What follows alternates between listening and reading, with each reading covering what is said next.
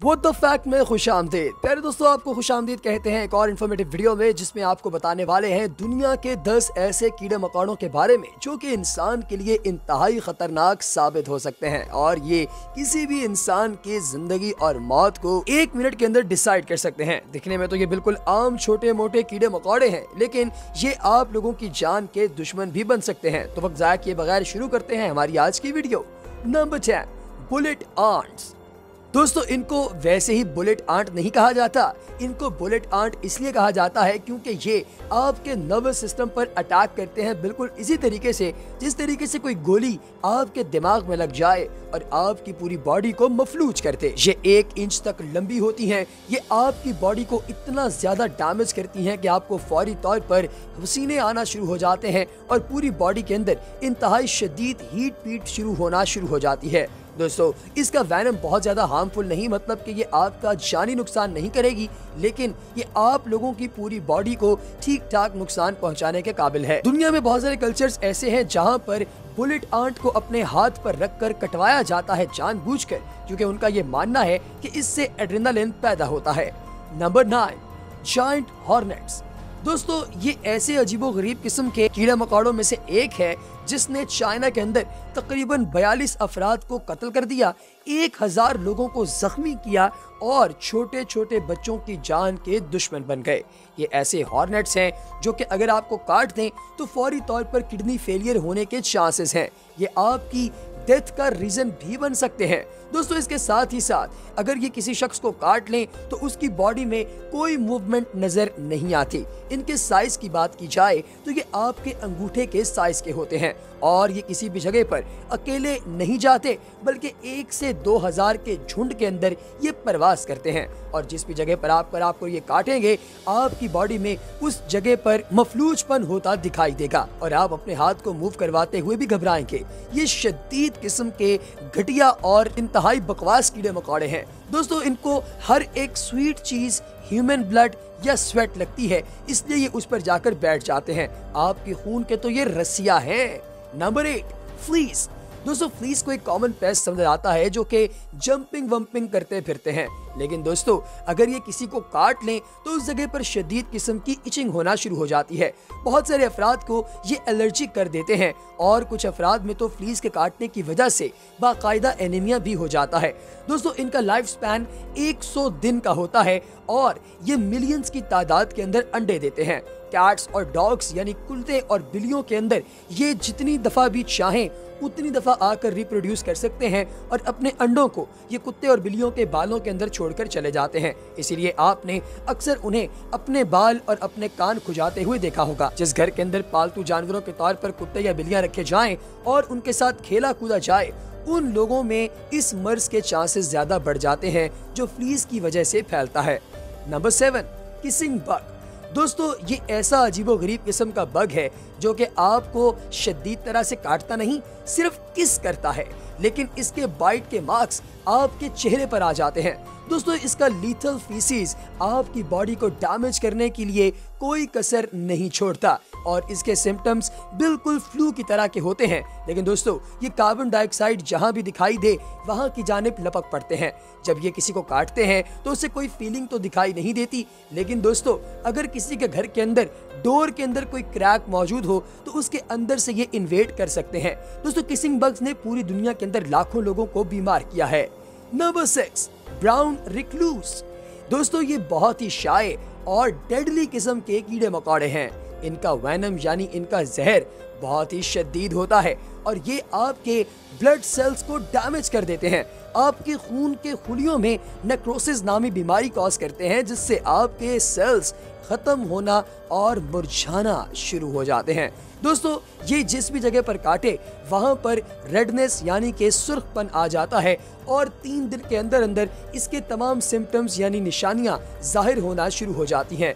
इनकी निशानियों में swear pen यानी शदीद किस्म का दर्द नंबर वन पर है नौजिया और सीजर्स ये भी इसकी निशानियों में से एक हैं। जिस भी बंदे को ब्राउन डिक्लूस काटे, उस बंदे का बचना तकरीबन नामुमकिन हो जाता है। नंबर फाइव सीसी फ्लाई दोस्तों सीसी फ्लाई ऐसी है जो किसी को काट ले तो उस बंदे को अफ्रीकन स्लीपिंग सिकनेस नामी बीमारी हो जाती है, जिसमें आपको हर वक्त नींद ही आती रहती है। दोस्तों सेसी फ्लाई जिस भी जगह पर काटती है, वहाँ की स्किन बिल्कुल रप्चर हो जाती है। इसकी जो निशानदहियाँ होती हैं, यानी जो सिम्टम्स हैं बीमारी के, उनमें शदीद बुखार, यानी फीवर इसके साथ ही साथ दर्द यानी एकिंग और हेडेक यानी के सर दर्द शामिल है। ये स्लीपिंग सिकनेस कॉज करने के अलावा मेडिकल ट्रीटमेंट्स वगैरह के हवाले से भी बहुत ही ज़्यादा क्रूशियल है। क्योंकि बहुत सारे अफराद के पास इसका कोई इलाज मौजूद नहीं होता। सेट्सी फ्लाई, अच्छी बात यह है कि पूरी दुनिया के अंदर नहीं पाई जाती। ये सिर्फ़ सेंट्रल अफ्रीका के अंदर पाई जाती है, जहाँ पर इसके अभी तक अनरिपोर्टेड केसेस शदीद तादाद में मशहूर हैं। लेकिन दोस्तों, शायद ये खत्म ही हो चुकी हो। इस बारे में भी कुछ साइंटिस्ट का मानना है, क्योंकि सेट्सी फ्लाई के खिलाफ बाकायदा एक ऑपरेशन स्टार्ट किया गया था, जिसमें इसे मारने के लिए प्रॉपर तरीके के जहर इस्तेमाल किए जा रहे थे। और अब तक इसको मुकम्मल तौर पर खत्म कर दिया गया है या नहीं, इस बारे में कुछ भी अभी तक नहीं कहा जा सकता। नंबर फोर बोट फ्लाइज दोस्तों, ये एक ऐसी अजीबो गरीब किस्म की मक्खी है जो कि आप लोगों की स्किन के अंदर आकर अंडे दे देती है। और अंडे भी एक या दो नहीं, बल्कि हज़ारों की तादाद में दोस्तों बेकन के ऊपर इसको ग्रो करवा कर देखा गया कि ट्वीजर के ज़रिए अगर आप इसके लार्वा को इस स्किन के अंदर से निकालने की कोशिश करें तो ये बाहर निकलता है। बोट फ्लाइज जिस भी शख्स को काटती हैं, उसका तो बेड़ा ही गरक कर देती हैं। दोस्तों बॉट फ्लाइज के काटे हुए इंसान को हमेशा इमरजेंसी के अंदर ले जाया जाता है और बहुत सारे अफराद को तो इसने वेंटिलेटर तक पहुँचा दिया है। नंबर थ्री किलर पीस दोस्तों यूरोपियन हनी बी और अफ्रीकन बी को किलर बीस का नाम दिया जाता है। इसने तारीख में आज तक 100 से ज़्यादा लोगों को कत्ल किया है। अगर ये आपके पीछे लग जाएँ तो आपको क्वार्टर माइल तक चेज भी कर सकती हैं। यानी आपने इनसे भागना है और इन्होंने आपके पीछे 250 मीटर तक भागते ही रहना है। और तब तक ये अपने शिकार को नहीं छोड़ती, जब तक कि उसे कत्ल न कर दें।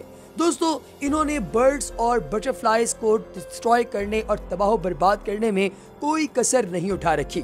और इन्हें अगर कहीं करीब कोई इंसान नज़र आ जाए तो ये उसकी तरफ़ भागती फिरती हैं।